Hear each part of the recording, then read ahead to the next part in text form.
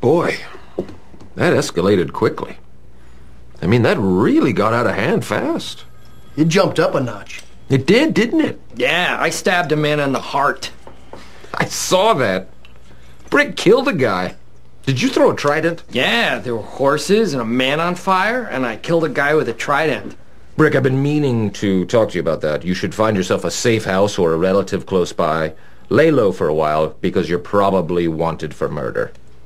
I'm proud of you fellas. You all kept your head on a swivel, and that's what you gotta do when you find yourself in a vicious cockfight.